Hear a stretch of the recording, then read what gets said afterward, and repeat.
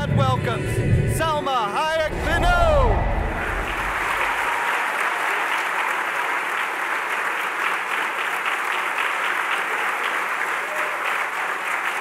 Oh, okay.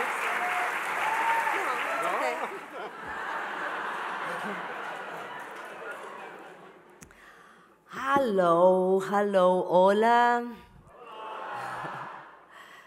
Thank you so much to SCAD for this recognition. Thank you also to President Wallace. And I have to tell you something. If nobody had told me that the president was a woman, I would have known it anyway.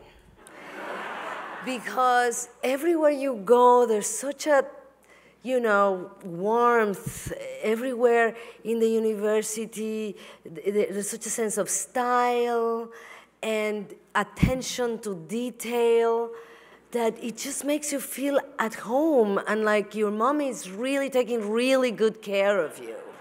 So I know you guys are in great hands, and I already feel at home here. I want to come back too, like Sir Patrick.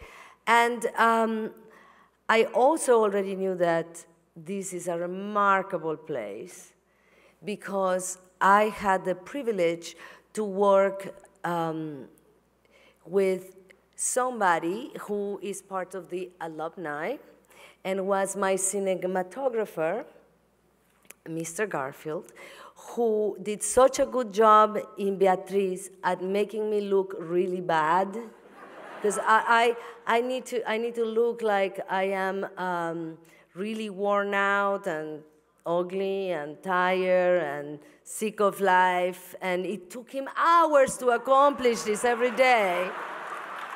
At the same time that he was making the film look absolutely beautiful so that I could really stand out.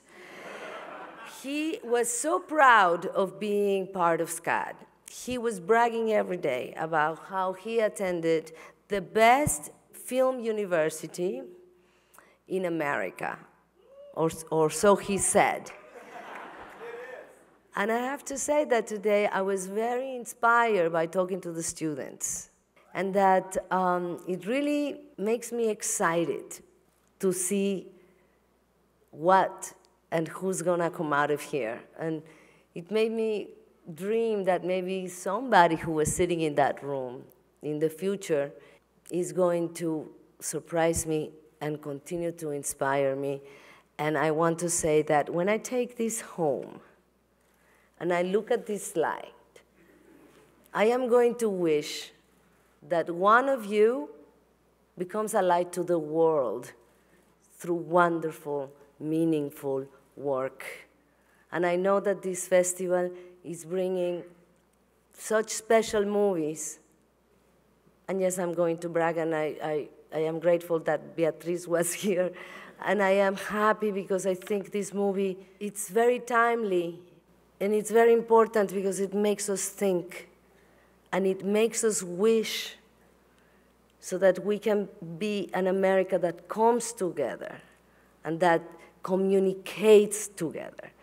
And so when I see this light, I will think of you and I will hope that one day something comes out of here that becomes a little sparkle of light to a world that is not in such a good place. Thank you so much for this invitation.